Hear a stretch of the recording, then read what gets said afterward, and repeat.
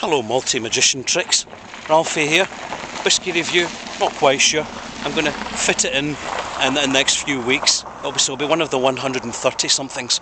Now we are on location on a beautiful sunny day with the Machar Bay over that way and Loch Gorm over that way and we're really at the head of the, the Rinns of Islay. Yes, we are on location on that beautiful sunny island of Islay with the Ileachs and uh, too good an opportunity to miss to go down to the farm. There's the farm and if we swing round a bit because you'll be more interested in the distillery Kilchoman. Kilchoman is the newest, the smallest, the most westerly distillery on Islay. It's attracting an awful lot of attention, and this gentleman here, with over 20 years' experience in the whisky industry, is going to give us a tour around. Hello, John. Good morning. Good morning. Welcome to. Thank you very much. If you could lead on, sir. Yeah, absolutely. And can I get a shot of the tractor afterwards? Yeah, sure. you want to make sure I've got a licence first, actually, before we do that. Fine on the motorbike, but uh, I've never tried a tractor before.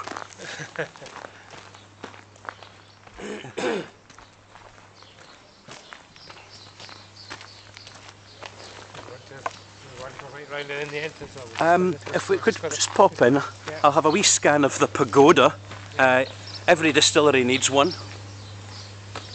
And if you'd just like to show us into the still and mash house. Thank you very much. Okay, here we are. All very compact. Yeah. And uh, the mash house and still house, as you see, at Kilchoman is combined. We've got the mash tun at the top of the steps here. Uh, very small mash, 1.2 ton mash. Uh, much in the in the style of the old farm distilleries from probably a couple of hundred years back. Uh, so everything's in in uh, this size to suit the mash. Mash is 1.2 tons, three waters. Uh, from there we collect wort, which is fermented using yeast next door in the tun room. Uh, you maybe want to have a quick look there. Yes, please. Uh, the tun room is through here. Passing the malt mill in the way. It's a slightly unusual layout, but that's to make full use of the sort of buildings we have here. Absolutely, that's a pretty impressive piece of yeah. equipment. Well, it's a pretty well a full-size mill. I mean, a lot of the distillery here was built using second-hand machinery, so yes, the guys are taking what they what they could get. Just a little shot inside an empty washback here. Washbacks are stainless steel, which I suppose is quite modern, but mm -hmm. uh, Mm-hmm. again, size to size to fit the buildings. You always get a wonderful echo in them. Yeah, absolutely. That's when it's empty, of course, just across here. Uh huh. You can have a little look from here. Open tray, but this one, this one is full. And indeed, it does get the, the smell of the oh. Wafting out to you there. Can you smell the carbon dioxide, guys? Yeah. this is absolutely, absolutely perfect. It's mm -hmm. fermenting away. Small, small qualified, 6,000 litre capacity. Yeah. Producing wash somewhere probably between 6 and 8% alcohol by volume, which will then be taken through to be distilled next door. Okay. So we have to retrace our steps. Absolutely. Lead on, sir. Now, everything's really quite compact and small here. Um, I notice also you've got a maltings floor as well. Yeah, we have, and uh, we are looking to, to produce a part of our year's production using barley which has been malted on site. Mm -hmm. And barley from Islay? Barley from this farm. From the, oh, from Kilchoman? From this farm. Right, excellent. The farm's called Rockside. Uh-huh. The barley's grown right next door here. Brought in, here we are back in the still house. Yep. Wash still here, again very small, just over 3,000 litre capacity. Uh, each day here the guys do one mash, so they produce one mash, mm -hmm. uh, and they distill one mash. Yep. So these stills will run twice a day each. So the wash still runs uh, to prepare low wines to be redistilled in the spirit still, together with the foreshots and feints from the from the spirit distillations. That's all combined in the tank below our feet, mm -hmm. redistilled in here, and the spirit is then taken across the road to where it will be filled into casks. Excellent. If you could lead on, please. Yeah.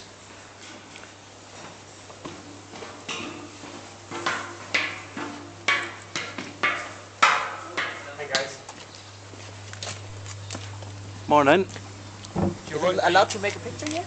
Yeah, yeah, just from the door, really. But you should really have somebody with you. But one of the guys is inside the painted, so yeah. yeah. Okay, thank you. yeah, okay. Sorry, that's Now, your uh, fault. yes.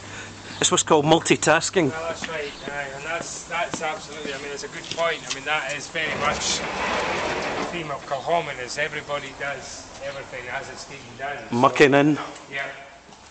So this is our quite small warehouse. This has probably six to seven hundred casks in it. This is the original uh, warehouse from when the distillery started. At the moment, we're planning to build a much bigger one for about seven thousand casks. At present, we're actually storing casks with one of the other distillers on the island, Yeah. which is terrific for us. The fact that there's so much cooperation and we're able to do that is, is that's our fix at the moment. Yeah. So you're, you're getting a lot of uh, appreciation on Islay for the for the craft There's, there's way. a huge, huge amount of cooperation on the island at production level.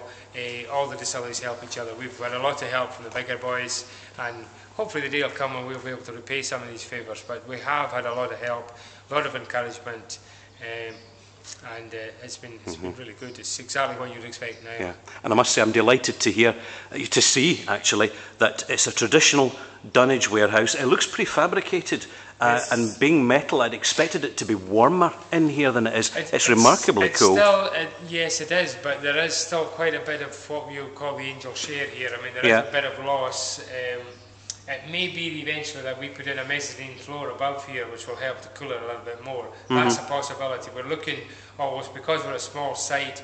We're always looking for storage space, and that is a possibility that we'll put in a, a, a floor above e- eventually, and we would use that for storing dry goods, Mm-hmm. etc. Can, can I take a quick turn down the, Yeah, sure. the aisle Yeah, here? Absolutely. There you are, folks. A couple of wee octaves, I believe. Yeah. Yep. And you've got a variety of bourbon, ex-bourbon, ex-sherry, bourbon casks, sherry, hogsheads. There, a couple of big beefy hogsheads there. So uh, the, the main fillings here are done into American barrels, like you have here, and these are mostly from Buffalo Trace in the United States. Right. We are going to adopt a very strict wood policy here. Uh, we produce so little alcohol that we have to make sure that every drop is utilised and, and, and made to, to work for the company as best as possible. So we will have a very strict policy. We'll use our new bourbon casks from the United States. We'll use them twice. We'll use them fresh, then we'll use them refill, and mm-hmm. then they'll come out of the system after that. And Buffalo Trace are doing some good stuff at the moment. absolutely. Here at my feet we have a cask which was pre-selected last week. I'll just stand around so you can see the end. Yep. This is pre-selected last week. This is going to be bottled next week and will be sold here on our open day during the Whisky Festival. Excellent. So this is a this is a a, a special bottle for the people who make the long trip to Islay to, Mm-hmm. to come and see us on that day. Well, I'll make sure I have this vlog up and running in Yeah, time for that then. Hopefully that, that won't do any harm. No, so that, that one's been selected for that, uh, and as I say, that, that work will be done next week. Yeah. Splendid stuff. Yeah, Claremont Spring yeah, bourbon whiskey. yeah. There you go. Good stuff. And here's the first cask, the first cask filled at the distillery. This was Mm-hmm. filled in December the 14th, 2005. And Yep. It's uh, already probably one of the most photographed whiskey casks in the world. It does stand out a bit, doesn't it? does, uh, well, You know, so there's something about it. it's, it's, it's been nicely placed there. Somebody's got a wee bit of thought into exactly where it's where it's Yeah. been stored. We're actually going backwards around the distillery now because we're going Mm-hmm. to go back and have a look at uh, Yeah. at the floor maltings. Good. We've got a minute left. We've got a minute left. A minute left, yes. Okay. Perhaps rather than go to the malt floor, which is the malt floor is empty Mm-hmm. today anyway because we we we will put a floor down tomorrow, which will germinate and grow over the weekend. Uh huh. Uh, probably best thing to do is just have a little look at the kiln here. Yes. The last shot. So this is a small kiln here which we use um, for drying our barley. There's, there's a floor up above here just now. This is this week's floor has actually been dried at the moment. The peat fire is burned here for, for about eight hours to begin with. We're not looking for any heat, just smoke. Right, Joe. Guys, I'm going on to part two of this interview because time's running away from us, and this is fascinating. Part two coming up shortly.